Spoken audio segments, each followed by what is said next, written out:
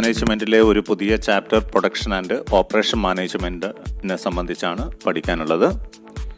അപ്പോൾ ഇതിൽ രണ്ട് ഇതിൽ വരുന്ന കൺസെപ്റ്റാണ് പ്രൊഡക്ഷൻ ആൻഡ് ഓപ്പറേഷൻ മാനേജ്മെന്റ് എന്താണ് പ്രൊഡക്ഷൻ എന്താണ് operation production is the creation of value or it is concerned with the creation of goods and services ഉൽപ്പന്നങ്ങൾ ഉൽപ്പാദിപ്പിക്കുന്ന പ്രക്രിയയാണ് പ്രൊഡക്ഷൻ എന്ന് പറയുക. Or it is the transformation of input into outputs ഇൻപുട്ടുകളെ നിവേശങ്ങളെ ഔട്ട്പുട്ടുകളാക്കി മാറ്റുന്ന ഒരു പ്രക്രിയയാണ് production it is a process by which raw materials are converted into finished goods raw മെറ്റീരിയൽസിനെ finished goods ആക്കി മാറ്റുന്ന ഒരു പ്രക്രിയയാണ്. അപ്പോൾ ഇതിൽ ധാരാളം പ്രവർത്തനങ്ങൾ അടങ്ങിയിട്ടുണ്ട്. വളരെ സങ്കീർണമായ ഒരു പ്രവൃത്തിയാണ് ഉൽപാദനം. അപ്പോൾ it is concerned with or it includes all activities of procurement allocation and utilisation of various resources like labour energy materials equipment machinery etcetera നമുക്കറിയാം ഉൽപാദനത്തിന് വേണ്ടി ധാരാളം വിഭവങ്ങൾ ആവശ്യമാണ്. Materials labour energy then equipments ഇങ്ങനെയുള്ള നിരവധിയായ വിഭവങ്ങൾ ഉപയോഗിച്ച് മാത്രമേ ഉൽപാദനം നടത്താൻ വേണ്ടി സാധിക്കൂ. അപ്പോൾ ഇവയുടെ സംഭരണം ഇവയുടെ ഉപയോഗം ഇവയുടെ മാനേജ്മെന്റ് ഇവയെല്ലാം മാനേജ്മെന്റിന്റെ വളരെ പ്രധാനപ്പെട്ട ഒരു പ്രവർത്തന മേഖലയാണ്. അപ്പോൾ ഇവയെല്ലാം ശരിയായ രീതിയിൽ സംഘടിപ്പിക്കുകയും അത് ഉപയോഗിക്കുകയും ചെയ്താൽ മാത്രമേ ഉപഭോക്താക്കൾ ഉപഭോക്താക്കളെ തൃപ്തിപ്പെടുത്താൻ പറ്റുന്ന സാധനങ്ങൾ യഥാസമയം അവരിലേക്ക് എത്തിച്ചു കൊടുക്കാൻ വേണ്ടി സാധിക്കും. അപ്പോൾ ഉപഭോക്താക്കൾക്ക് ആവശ്യമായ ഏറ്റവും നല്ല സാധനങ്ങൾ ഏറ്റവും ഗുണമേന്മയുള്ള സാധനങ്ങൾ ശരിയായ വിലയ്ക്ക് ശരിയായ സമയത്ത് അവരിലേക്ക് എത്തിച്ച് കൊടുക്കണമെങ്കിൽ തീർച്ചയായിട്ടും ഒരു എഫക്റ്റീവായ പ്രൊഡക്ഷൻ സിസ്റ്റത്തിലൂടെ ഒരു ഫലപ്രദമായ ഉൽപാദന സംവിധാനത്തിലൂടെ മാത്രമേ സാധിക്കൂ.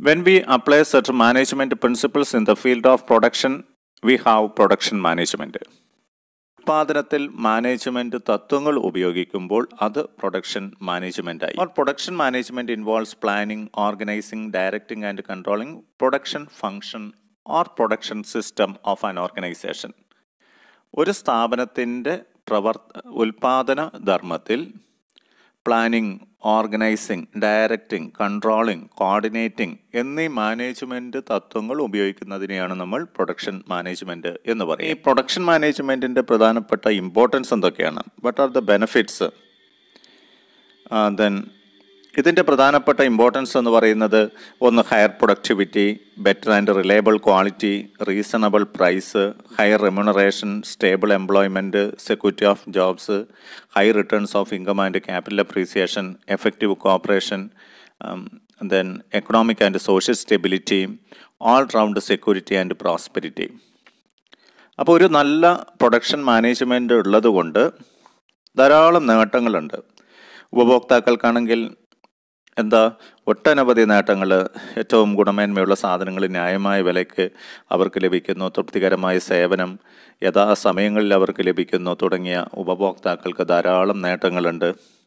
അതുപോലെ ജീവനക്കാരെ സംബന്ധിച്ചിടത്തോളം അവർക്ക് മെച്ചപ്പെട്ട പ്രതിഫലം തൊഴിൽ ജോലി ഭദ്രത മുതലായവ ലഭിക്കുന്നു.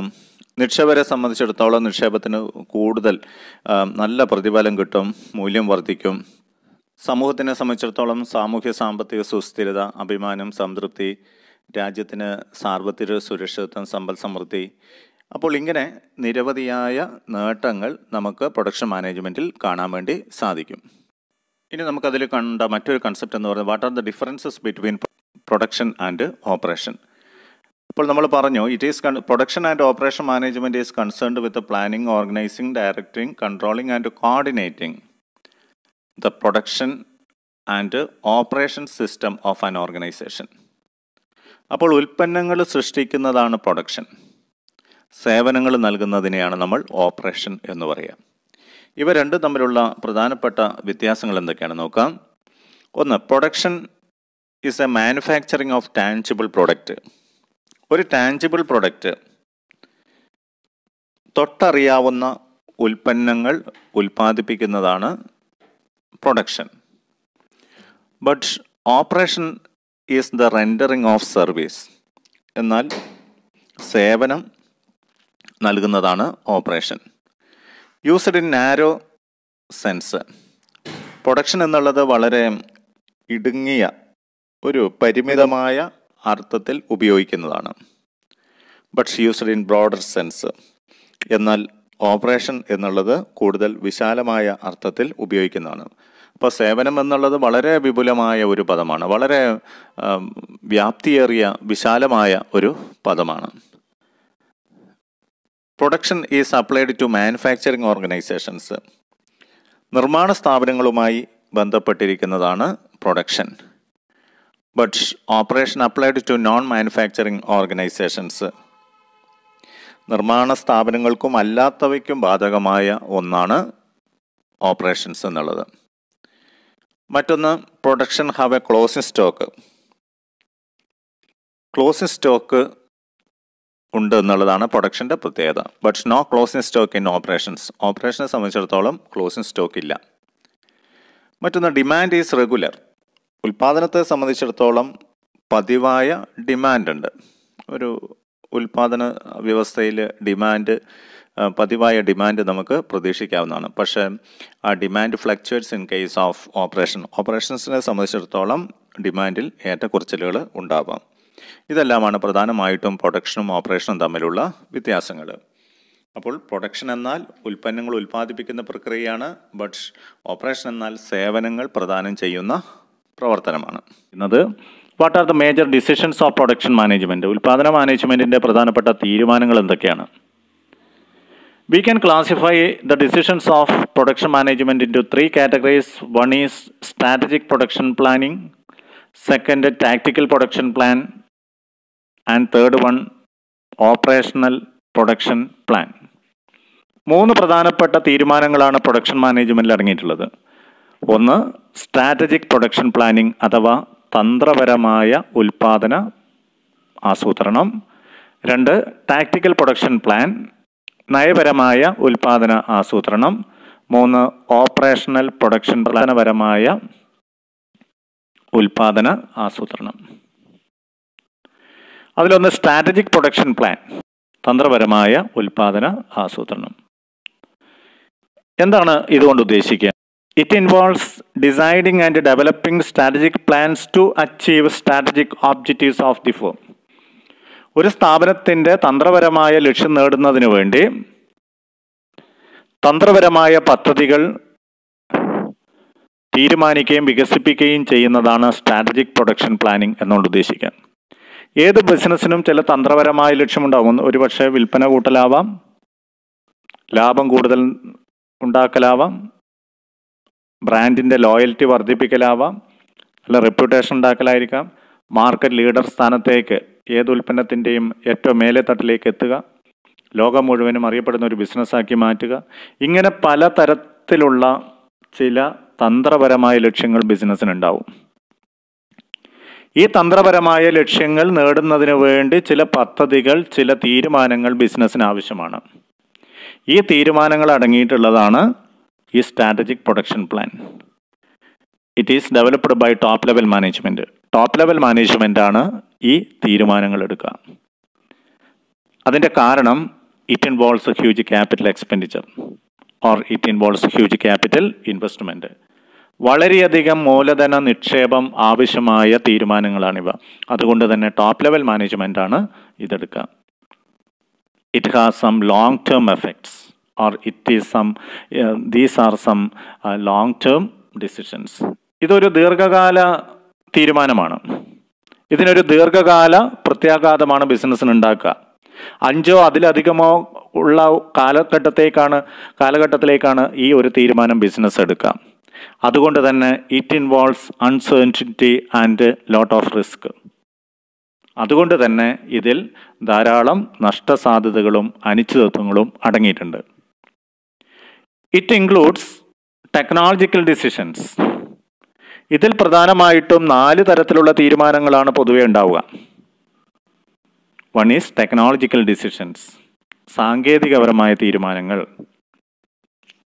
Then choice of appropriate technology equipments process choice and degree of automation etcetera നമുക്കറിയാം സാങ്കേതിക വിദ്യയുടെ മുന്നേറ്റത്തിലൂടെ മാത്രമേ ഉൽപാദനം വർദ്ധിപ്പി ഉയർന്ന ഗുണനിലവാരമുള്ള സാധനങ്ങൾ യഥാസമയം ചെലവ് കുറച്ച് ഉൽപ്പാദിപ്പിക്കാൻ സാധിക്കണമെങ്കിൽ ഉയർന്ന ഗുണനിലവാരമുള്ള സാങ്കേതിക വിദ്യ ബിസിനസ്സിൽ ആവശ്യമാണ്.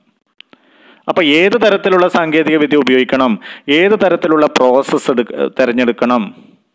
അതുപോലെ ഓട്ടോമേഷന്റെ അളവ് എത്രത്തോളമായിരിക്കണം? ക്വാളിറ്റി അല്ലെങ്കിൽ ഗുണമേന്മ മെച്ചപ്പെടുത്താൻ സഹായിക്കുന്ന ഒരു പ്രധാനപ്പെട്ട ഘടകമാണ് ഈ ഓട്ടോമേഷൻ.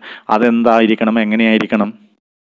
ഇങ്ങനെയുള്ള തീരുമാനങ്ങൾ അടങ്ങിയിട്ടുള്ളതാണ് ടെക്നോളജി ഡിസിഷൻസ് അതുപോലെ രണ്ടാമതുള്ളതാണ് കപ്പാസിറ്റി ഡിസിഷൻസ് ശേഷി സംബന്ധമായ തീരുമാനം. കസ്റ്റമേഴ്സിന്റെ ഡിമാൻഡിന് അനുസൃതമായിട്ട് സാധനങ്ങൾ അവർക്ക് കൊടുക്കണമെങ്കിൽ ഉൽപാദനം വർദ്ധിപ്പിക്കണം. അപ്പോൾ ഉൽപാദനം വർദ്ധിക്കണമെങ്കിൽ വർദ്ധിപ്പിക്കണമെങ്കിൽ അതിനോടനുബന്ധിച്ചിട്ടുള്ള എല്ലാ തരത്തിലുള്ള സംവിധാനങ്ങളുടെയും കപ്പാസിറ്റി വർദ്ധിക്കണം. മിഷണറി അതിന് തക്ക മിഷണറി സംവിധാനങ്ങൾ ഉണ്ടാവണം ലേബേഴ്സ് ഫോഴ്സ് സൗകര്യങ്ങൾ ഉണ്ടാവണം പ്ലാന്റിന്റെ കപ്പാസിറ്റി അത്രയും ഉണ്ടാവണം. അപ്പോൾ ഈ കപ്പാസിറ്റിയുടെ ഒരു എമൗണ്ട് ടൈമിംഗ് ആൻഡ് ടൈപ്പ് ഇങ്ങനെയുള്ള തീരുമാനങ്ങൾ തീർച്ചയായിട്ടും സ്ട്രാറ്റജിക് പ്രൊഡക്ഷൻ പ്ലാനിങ്ങിൽ വരുന്നതാണ്. ഇതെല്ലാം കൂടുതൽ മുതൽ മുടക്ക് ആവശ്യമായ തീരുമാനങ്ങളാണ്. ടോപ്പ് ലെവൽ മാനേജ്മെന്റ് എടുക്കേണ്ട തീരുമാനങ്ങളാണ്.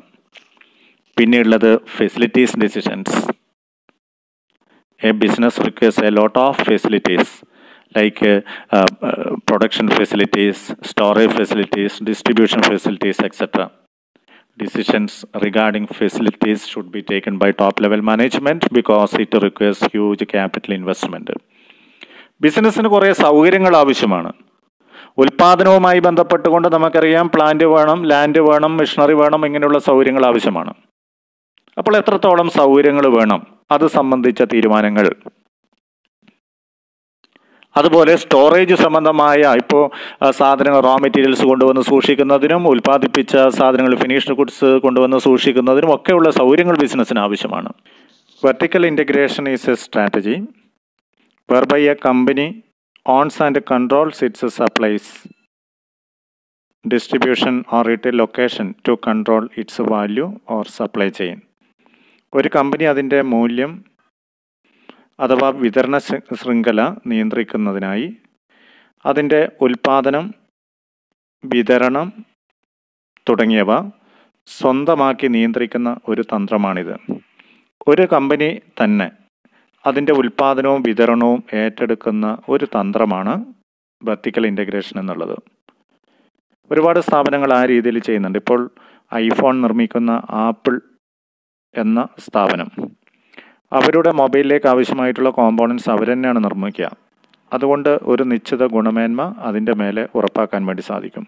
അതിന്റെ വിതരണവും അവർ തന്നെയാണ്. ആപ്പിൾ സ്റ്റോറിലൂടെയാണ് അവരത് വിതരണം ചെയ്യുകയും ചെയ്യുക. അപ്പോൾ ഇങ്ങനെയുള്ള തീരുമാനങ്ങൾ എടുക്കുമ്പോൾ കൂടുതൽ മുതൽ മുടക്ക് ആവശ്യമായിട്ട് വരും.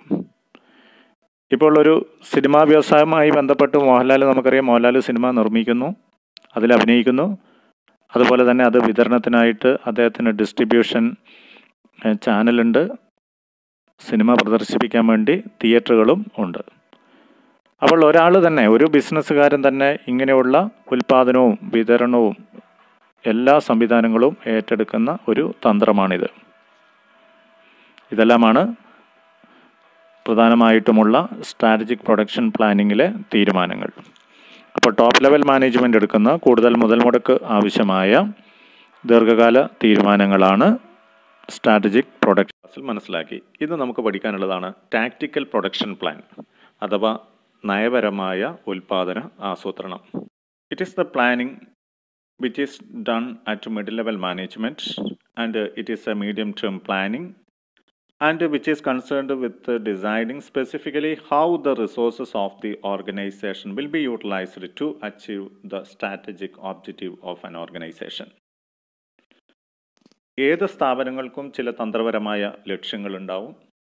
ആ ലക്ഷ്യങ്ങൾ പൂർത്തീകരിക്കാൻ വിവിധ വിഭവങ്ങൾ എങ്ങനെ കാര്യക്ഷമമായി ഉപയോഗിക്കാൻ സാധിക്കും അതിന് സഹായിക്കുന്നതുമായി ബന്ധപ്പെട്ട് രണ്ട് മുതൽ മൂന്ന് വർഷക്കാലത്തേക്ക് വരെ തയ്യാറാക്കുന്ന ഒരു പ്ലാനിംഗ് ആണ് ഒരു മീഡിയം ടേം പ്ലാനിംഗ് ആണ് tactical production plan. Middle level management ആണ് ഈ തരത്തിലുള്ള ഒരു പ്ലാൻ തയ്യാറാക്കുക. അപ്പോൾ വളരെ റിസ്ക് കുറഞ്ഞ അനിശ്ചിതത്വം കുറഞ്ഞ അൺസർട്ടനിറ്റി കുറഞ്ഞ നഷ്ടസാധ്യത കുറഞ്ഞ ഒരു പദ്ധതിയാണ് ഒരു പ്ലാനിംഗ് ആണ് ഈ ടാക്ടിക്കൽ പ്രൊഡക്ഷൻ പ്ലാൻ ഇതിൽ അടങ്ങിയിട്ടുള്ള ഘടകങ്ങൾ എന്തൊക്കെയാണെന്ന് നോക്കുക? അല്ലെങ്കിൽ tactical planning includes one is establishing the parameters for measuring operational efficiency and product productivity പ്രവർത്തന കാര്യക്ഷമതയും ഉൽപാദനക്ഷമതയും അളക്കുന്നതിനുള്ള ചില അളവുകോലുകൾ തീരുമാനിക്കുക.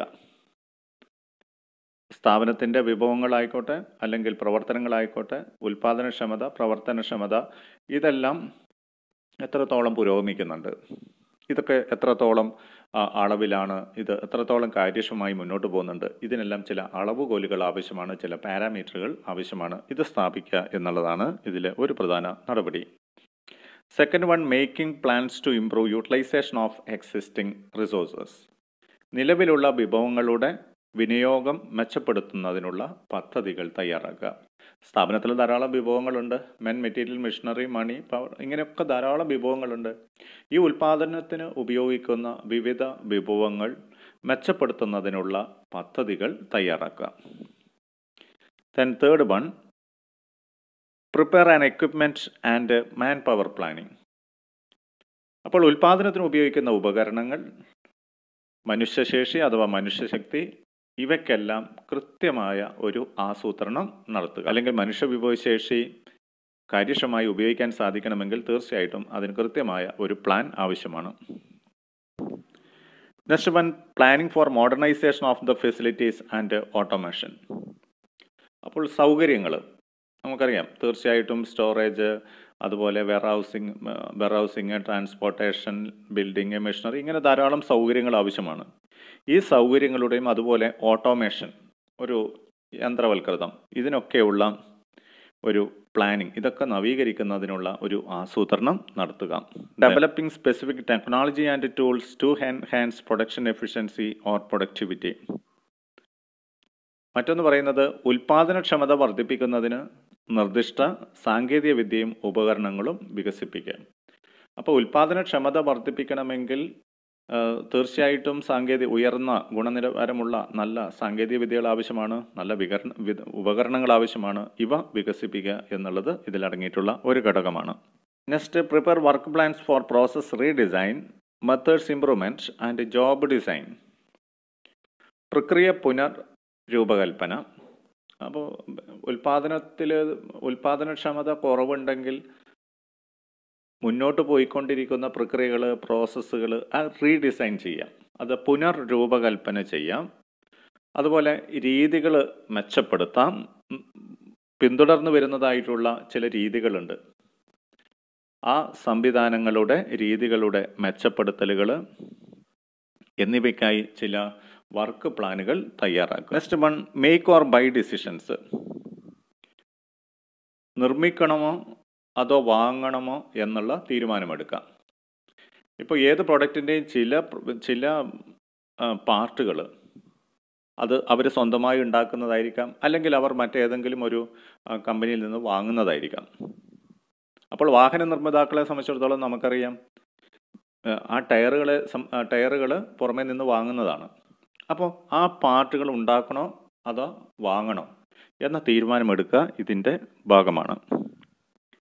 Next one planning for medium term maintenance to enhance the availability of production facilities ഉൽപാദന സൗകര്യങ്ങളുടെ ലഭ്യത വർദ്ധിപ്പിക്കാൻ അറ്റകുറ്റപ്പണികൾക്കുള്ള ആസൂത്രണം നടത്തുക.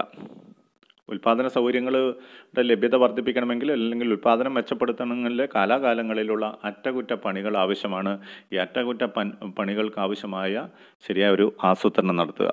ഇതെല്ലാമാണ് പ്രധാനമായും ടാക്റ്റിക്കൽ പ്രൊഡക്ഷൻ പ്ലാനിൽ വരുന്ന ഘടകങ്ങൾ അപ്പോൾ മിഡിൽ ലെവൽ മാനേജ്മെന്റ് എടുക്കുന്ന രണ്ട് മുതൽ മൂന്ന് വർഷക്കാലത്തേക്കുള്ള ബിസിനസ്സിന്റെ ചില തന്ത്രപരമായ ലക്ഷ്യങ്ങൾ നേടുന്നതിന് വേണ്ടി തയ്യാറാക്കുന്ന പ്ലാനുകളെയാണ് ടാക്ടിക്കൽ പ്രൊഡക്ഷൻ പ്ലാൻ എന്ന് പറയാം. അതിലടങ്ങിയിട്ടുള്ള പ്രധാനപ്പെട്ട ഘടകങ്ങൾ ഇവയൊക്കെയാണ്.